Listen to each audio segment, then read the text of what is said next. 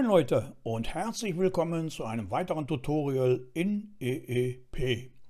Ja, heute geht es mal um die Abstellmöglichkeiten von Zügen bzw. von Zugverbänden. Äh, welche Möglichkeit gibt es da bzw. welche Möglichkeit kann man einsetzen? Für Leute, die noch mit EEP6 arbeiten, die haben natürlich den Schattenbahnhofsbereich. Äh, gehen wir mal eben unter Blöcke. Da habe ich den fünfgleisigen und zwar den eckigen. So wurde er also zum Beispiel in EEP6 aufgrund von Platzverhältnissen, einmal mit der Kamera dahin, so, äh, wegen Platzverhältnissen wurde er ebenso aufgebaut. Quadratisch praktisch gut. Ja, die Züge, die hier rum, eckig rumfahren, sieht zwar nicht schön aus, aber man brauchte den Platz, weil die Möglichkeit nach größeren äh, Schattenbahnhöfen war begrenzt. Mit den neueren Versionen gab es dann aber auch schon wiederum, da gehen wir nochmal rein, dann die sogenannten eleganteren Schattenbahnhöfe, die dann auch ein bisschen länger waren. Ja, gehen wir mal hier rein und dann nochmal in 2D. Da seht ihr schon, das ist also mal so ein modernerer bzw. Äh, realistischer Schattenbahnhof. Natürlich hier der enge Bogen ist natürlich nicht so realistisch, aber ansonsten der Aufbau schon. Mit der EE-Version EEP13, also für alle, die ab 13 höher sind, wurde automatisch, dazu gehen wir jetzt mal hier rein, so, wurde automatisch ein Schattenbahnhof mitgeliefert. Und zwar nicht unter dem Namen Schattenbahnhof, sondern äh, ein Zugdepot. Aber nichts anderes als ein Schattenbahnhof auch. Jetzt gehen wir mal in die 2D-Ansicht. Wo finde ich natürlich das Zugdepot? Das Zugdepot finde ich also hier unter dem Button Signalsystem. Dann habe ich also unter Kontaktpunkte gibt es zwei Kontaktpunkte und zwar das erste ist einmal Einfahrt Zugdepot und einmal das andere ist die Ausfahrt aus dem Zugdepot.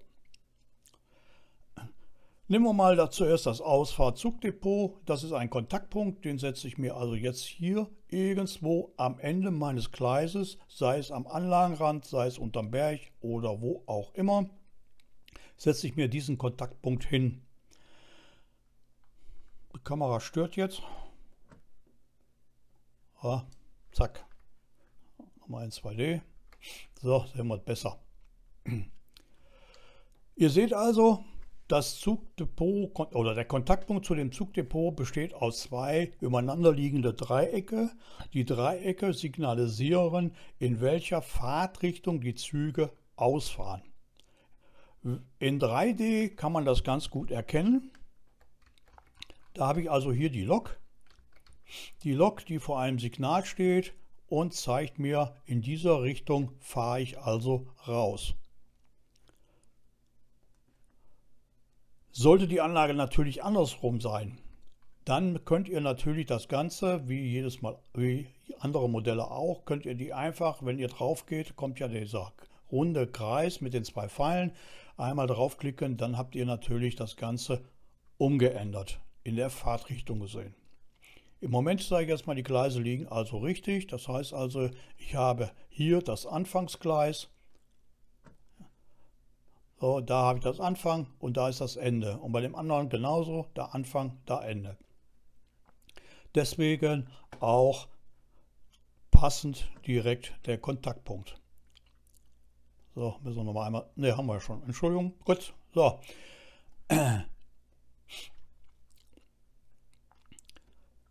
Passend natürlich zu diesem Depot äh, Ausfahrt brauchen wir natürlich noch einen Kontaktpunkt, der mir sagt, fahre ins Depot ein. Und zwar brauchen wir hier das Kontaktpunkt Einfahrt Zugdepot.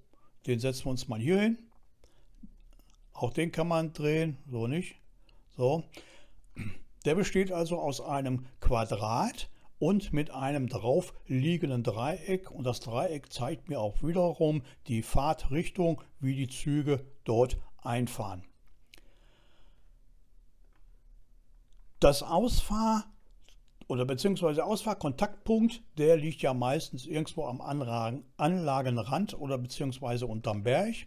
Das Einfahr halt so, das Einfahrkontaktpunkt kann irgendwo auf der Anlage, wo auch immer, gesetzt werden. In diesem Fall, so mache ich es meistens, setze ich es genau gegenüber, weil der Zug, der hier rausfährt, der kommt dann irgendwann hier wieder zurück und soll ja in das Depot wieder reinfahren.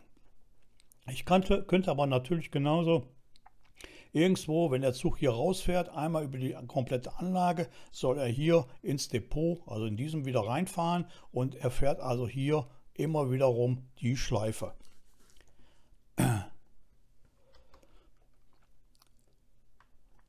So, schauen wir uns mal die zwei Kontaktpunkte an. Das heißt also, ich habe also jetzt hier, äh, also stopp, ich muss eben noch ein anderes, so ein Signal setzen. Warum? Kommen wir gleich drauf. Den schieben wir uns mal ein bisschen so rüber. So. Fangen wir mal mit dem Einfallkontaktpunkt an. Wenn ihr da mit der rechten Maustaste einmal einen Klick drauf macht, dann öffnet sich das äh, Ereignisfenster und ihr seht also, es ist genau wie bei allen anderen Kontaktpunkten auch hier im oberen Bereich, der umrandete Rahmen mit den Feldern drin, ist wie bei jedem anderen Kontaktpunkt auch vorhanden. Man kann also hier unterschiedliche Werte eingeben, die aber nicht relevant für unser Zugdepot sind, sondern relevant ist also hier unten, äh, wenn ich also hier neues Zugdepot da steht zurzeit Default Zugdepot. Hier klicke ich einmal auf dieses Registerfenster und ich habe also hier unten stehen Zugdepot 1. Das suche ich mir raus. Das heißt also, der Zug, der hier reinfährt, soll ins Depot 1 fahren. Ich könnte also auch jetzt hier hingehen, wenn ich mehrere Depots auf der Anlage habe, könnte ich also sehen, der soll hier nicht ins Depot 1 einfahren, sondern der soll hier ins Depot X reinfahren, wie auch immer. Damit der aber aus dem Depot abgemeldet wird, das heißt also da auch nicht weiter registriert wird, müsst ihr hier bei Abmelden noch das Häkchen reinsetzen und damit wird der Zug dann von diesem Depot 1 in dem Fall abgemeldet. Okay? Und damit ist eigentlich schon die Einrichtung für das Einfahrkontaktpunkt äh, für den Zugdepot schon fertig ausgefüllt.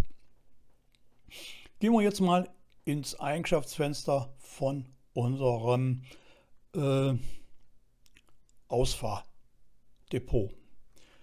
Da habt ihr also zum Beispiel hier oben als erstes mal Zugdepot ID Nummer 1 stehen. Also das heißt, das ist unser erster, äh, erstes Depot, was wir gesetzt haben. Ich könnte also jetzt nochmal hier hingehen, kann das Ganze wieder löschen, kann auch hier nochmal unter Ausfahrt. So, zack. Dann gehen wir hier nochmal wieder, noch mal hier wieder rein. Da habe ich wieder die 1 stehen. Also es ist das Zugdepot 1. Aber mein Hinweis direkt da von vornherein, wenn ihr die Anlage einmal abgespeichert habt und ihr löscht ein Depot und setzt dann wieder ein neues Depot, ist die Zahl, die ihr gelöscht habt, für EEP registriert. Das heißt also, er kommt dann mit einer weiteren neuen Nummer. Es könnte also passieren, dass ihr dann irgendwo auf der Anlage äh, eine fehlende Depot-ID habt. Das ist aber so in EEP vorgesehen. Äh, warum das so ist, weiß ich nicht, um vielleicht eine doppelte äh, Hinweise äh, zu erhalten vielleicht deswegen gesperrt ist, wie auch immer, weiß ich nicht. Also, wenn ihr das abgespeichert habt und ihr löscht das Depot, bekommt ihr eine neue Nummer. So, dann haben wir darunter eine sogenannte Liste. Also das heißt also hier äh, mit Überschriften und einige Zeilen. In jeder Zeile ist die ist eigentlich zu sehen wie ein Gleis im Schattenbahnhof. Also sprich, in jeder Zeile könnte ein Zug äh, eingestragen werden bzw. abgestellt werden. Genau wie zum Beispiel im Schattenbahnhof. Wie viele Züge jetzt da insgesamt reinpassen, kann ich leider nicht sagen. Also ich habe auf meiner größten Anlage dort 20 Züge im Depot drinstehen und er hat aber auch bis jetzt noch nicht gemeckert, äh, Züge passen nicht mehr rein, beziehungsweise äh, das Depot ist gefüllt. Also von daher äh, weiß ich nicht, wie viele da reinpassen. Als, äh, äh, als Überschrift habt ihr oben einmal den Status, das heißt also, ist die Lok in Fahrt oder beziehungsweise ist sie in Warteposition. Die zweite Spalte zeigt mir die Zeit an, wann der Zug ausfahren soll.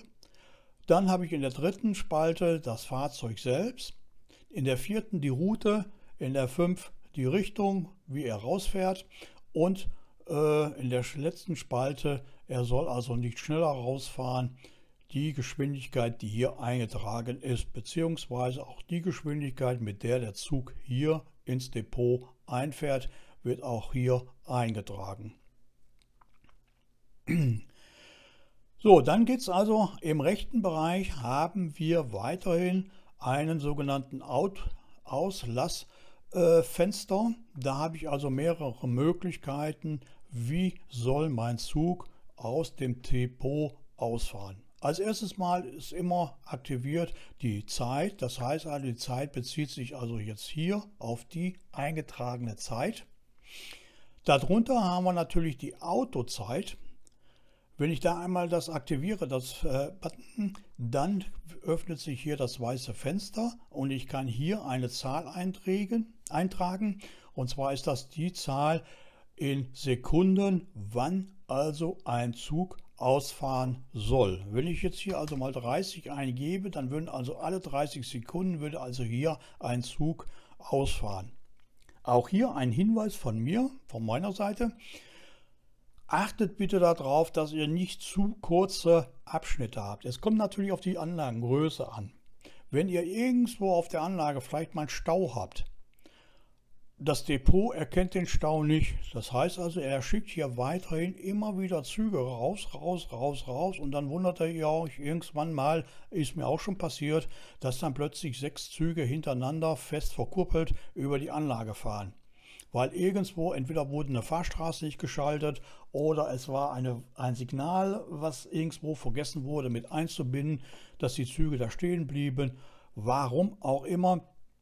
Äh, Achtet bitte darauf, die Zeit nicht zu kurz machen. Hier in diesem Fall können wir es mal machen, um das gleiche zu demonstrieren. Ich kann aber auch hingehen, und so mache ich es auf meinen Anlagen immer, dass ich zum Beispiel über ein Signal das Depot steuere.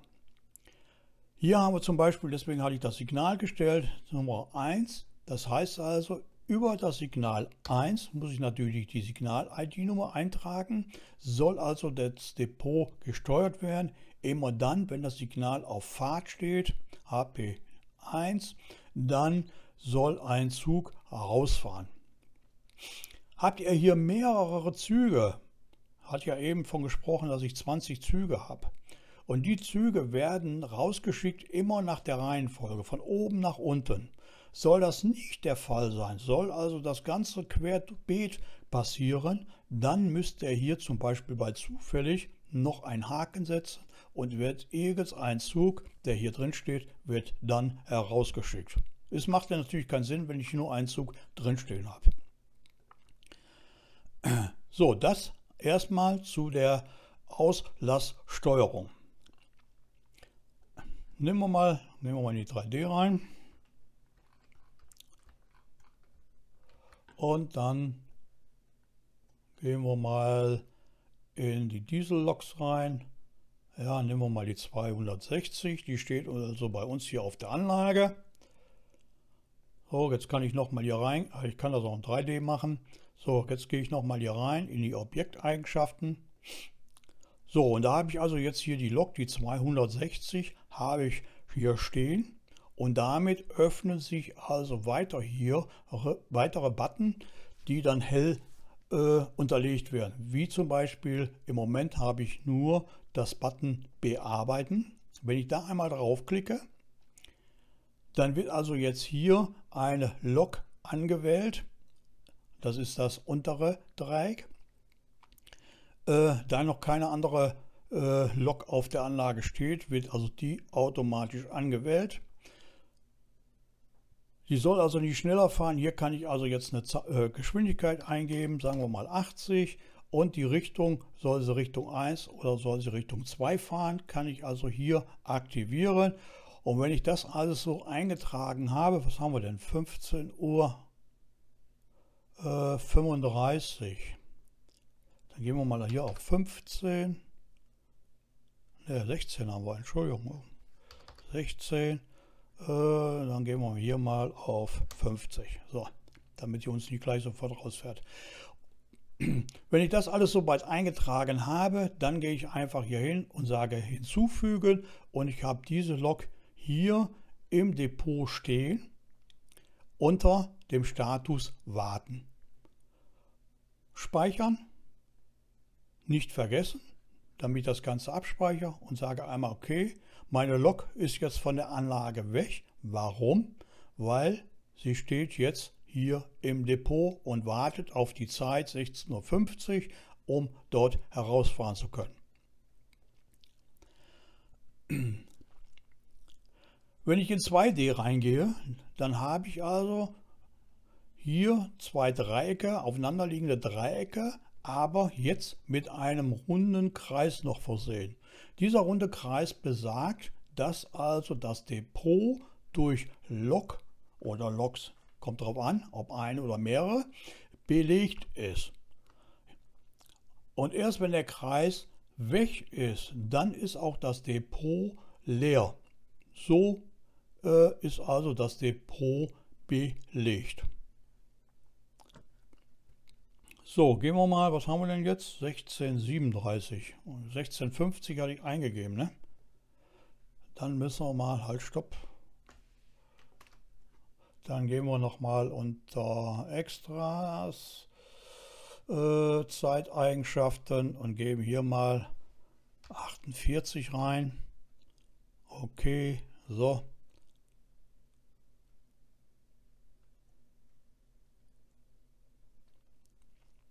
Jetzt müssen wir mal eben noch ein paar warten. Wir können aber mal einen Schritt schneller gehen. Also, einen Schritt schneller.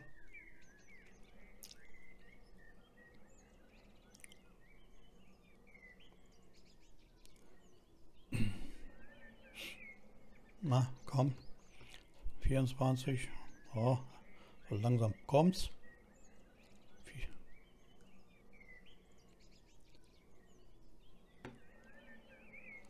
So, 15.50 Uhr.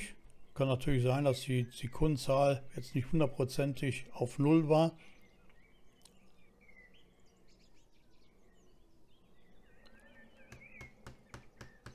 Na, komm. Fahr aus.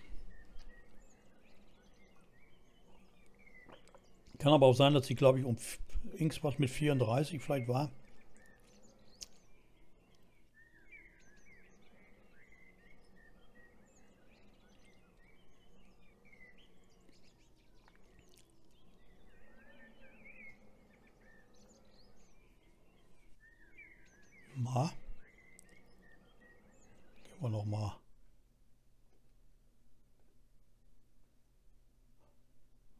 16.50 Uhr. ah, da haben wir den Fehler.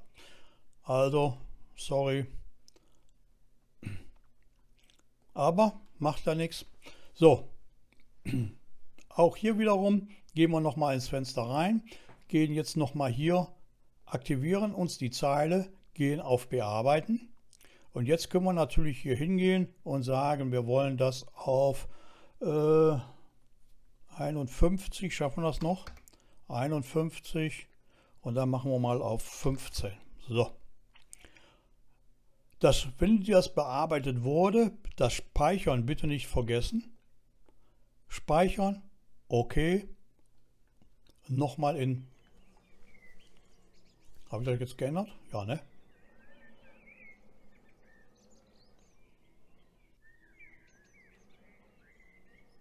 Oder habe ich die Zeit wieder nicht geändert? Ach, Heinrich, Mann. 15, so. 51, 15, okay. Speichern, okay. So. Jetzt müsste es aber klappen.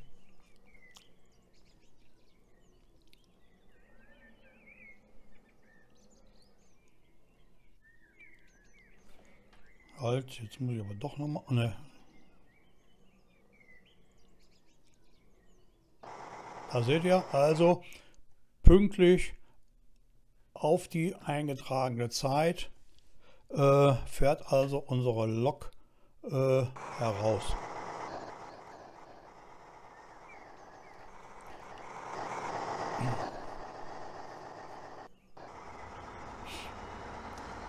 Da er jetzt keine andere Zeit eingetragen hat, fährt er also immer wieder die gleiche äh,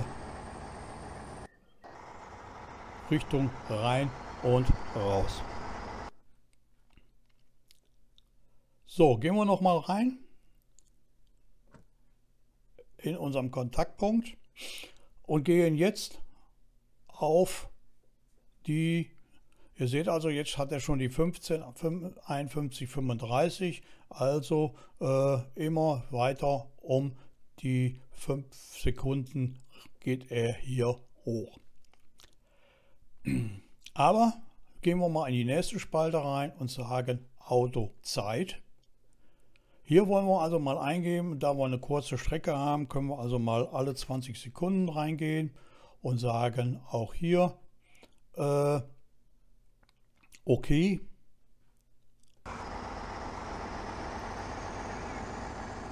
Jetzt fährt unser Zug also ein. Wir haben 45 gehabt, das heißt also, äh, ja, wir hätten noch ein bisschen kürzer machen können, ist aber egal.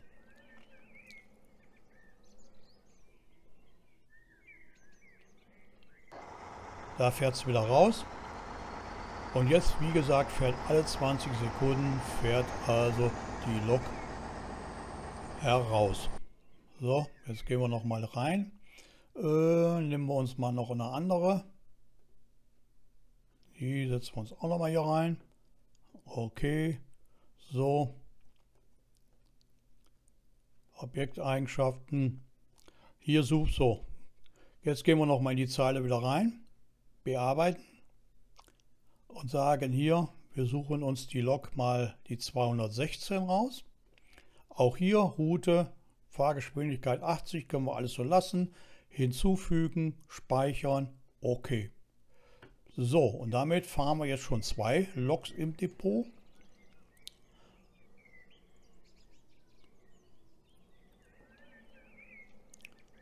Muss die Zeit gleich mal noch ein bisschen kürzer machen.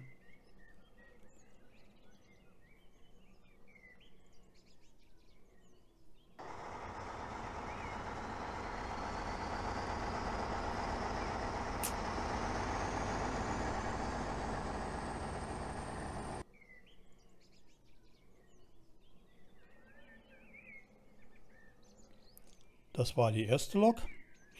Jetzt müsste gleich die zweite Lok kommen.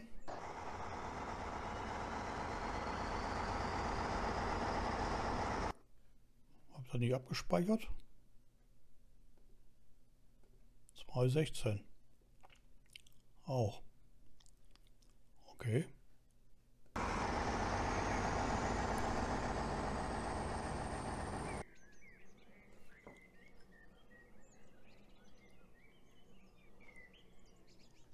Habe mich vertan mit der Eintragerei. Äh, ja, ja, ja, ja. 216 steht auf Warten.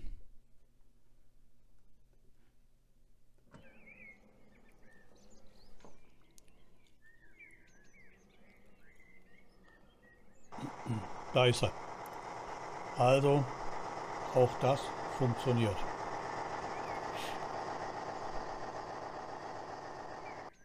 Gut.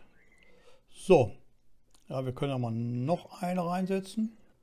Äh, was sind wir denn noch? 260, 236, kann man die noch nehmen? Okay. Und dann die 212 können wir auch noch nehmen. Halt. Okay. So, dann gehen wir noch mal hier rein. Unser Objekteigenschaften. So, bearbeiten. Dann suchen wir uns mal die Lok heraus hier, die 212, die hinzufügen, speichern und dann nochmal die 236 hinzufügen, speichern, okay. Und dann haben wir hier mal alle 10 Sekunden, damit wir das Ganze besser betrachten können. So.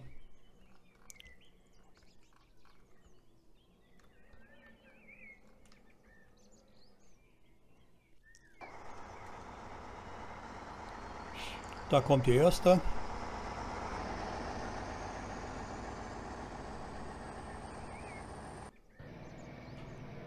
Das ist die zweite.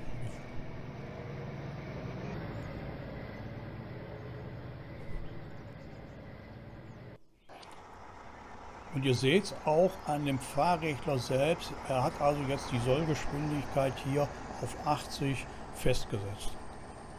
Soll die dann über die Anlage mäßig, soll die dann schneller fahren, dann müsst ihr also weitere Kontaktpunkte mit der entsprechenden Geschwindigkeit eintragen.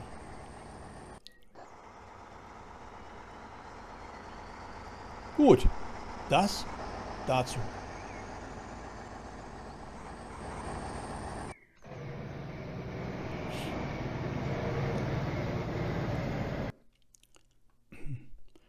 Wir mal wieder rein in die Objekteigenschaften.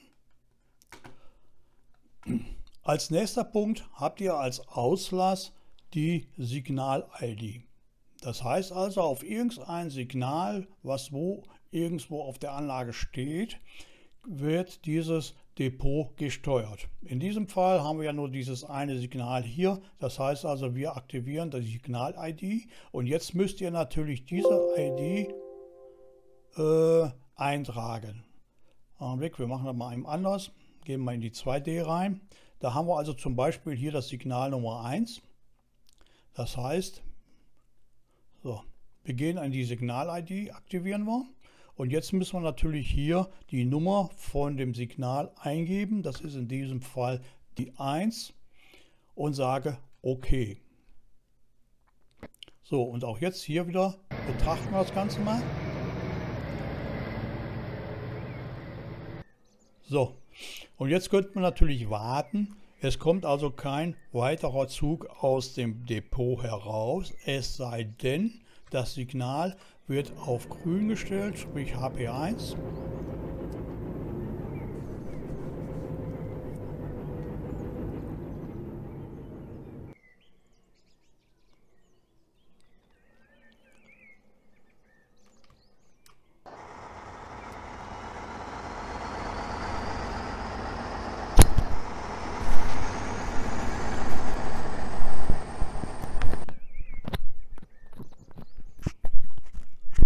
So, da seht ihr schon, wie gesagt, es funktioniert jetzt nur über dieses Signal.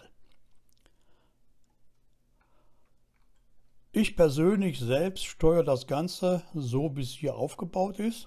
Jetzt gehe ich natürlich noch hin und setze mir zwei Signalkontaktpunkte. Das können wir eben mal direkt identisch machen. Hier setze ich also mal einen rein, Richtung 1 ist das und der soll also auf Halt gesetzt werden und dann setze ich das gleiche nochmal ein, auch auf, auch auf 1 und der soll dann auf Fahrt gestellt werden. So, jetzt brauche ich das Signal nur einmal aktivieren. Automatisch wird das Signal jetzt auf äh, HP0 gesetzt.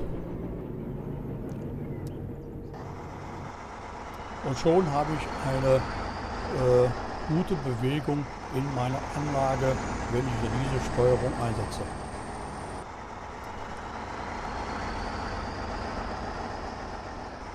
So, gehen wir aber mal weiter in unsere Objekteigenschaften. Äh, also, da machen wir eben noch mal was anderes. Wir sagen mal eben hier Route bearbeiten. Wir legen mal eben zwei Routen an und einmal eine Person und einmal Güter. So, okay. So, dann gehen wir noch mal hier wieder in unserem Objektfenster. Gehen auf die erste Log, sagen einfach mal bearbeiten und teilen ihm jetzt hier die Route mit. Güter. Wir sagen wieder speichern. Die nächste auch wieder bearbeiten. Auch hier nochmal wiederum Güter speichern. Und die nächsten zwei ebenfalls bearbeiten. Da gehen wir einmal auf Person speichern und das Ganze hier unten halt bearbeiten. Das Ganze nochmal ebenfalls speichern. So, ihr habt also jetzt, seht ihr schon, zwei Züge mit Güter, zwei Züge mit Personen. Es soll also jetzt mal abwechselnd Loks herausfahren bzw. Züge herausfahren. Dann habt ihr also die Möglichkeit, die ganzen Züge im Depot zu verschieben, indem ich einfach hier einen aktiviere und sage, auf die nächsten Button, die jetzt entsprechend frei werden, einmal nach oben. Dann habe ich also Güter, Person, Güter, Person. Ich kann aber auch hingehen und sagen, ich will erstmal ein Güter haben, dann zweimal Person und dann wieder Güter. Das gleiche, wie ich hoch machen kann, kann ich natürlich auch nach unten machen. Und so fahren dann meine Loks bzw. meine Züge aus dem Depot heraus. Des Weiteren kann ich natürlich auch hingehen, wenn ich sage bearbeiten, hole ich mir also den Zug hier unten rein und sage, ich will den Zug nochmal haben und gehe hin und sage einfach mal hinzufügen. Da seht ihr schon, ich habe das gleiche nochmal. Speichern. Und der soll wieder sagen, bearbeiten, da machen wir nochmal wieder eine Güter raus oder beziehungsweise da sagen wir mal ohne Route. So, einmal speichern und dann habe ich keine Routenänderung und sage okay, jetzt habe ich einen weiteren Zug da dem, äh, dem Depot hinzugefügt und zwar in der Route keine.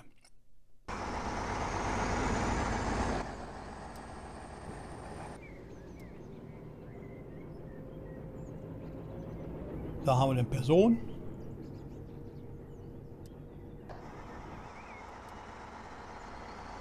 Das nochmal Person.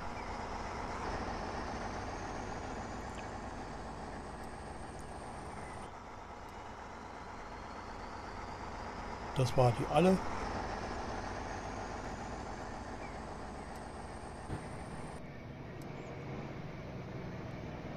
Und das war Güter. Also ihr seht, äh, so kann man sich sein Depot auch mal eben selbst einrichten.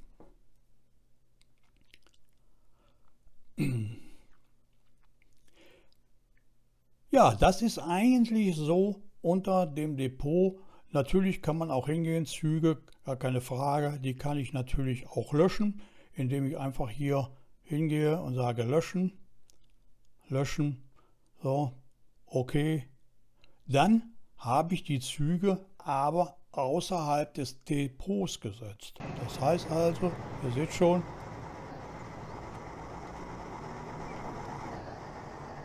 halt so.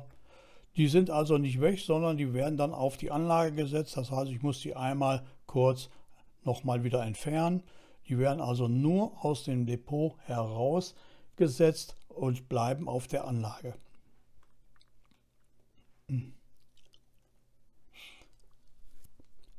Ja, das ist eigentlich zu diesem ganzen Zugdepot zu sagen. Äh, ich hoffe, ich konnte dem einen oder anderen wieder was beitragen zu dem EEP. Ich bedanke mich fürs Zuschauen und sage Tschüss, bis dahin, euer Heinrich.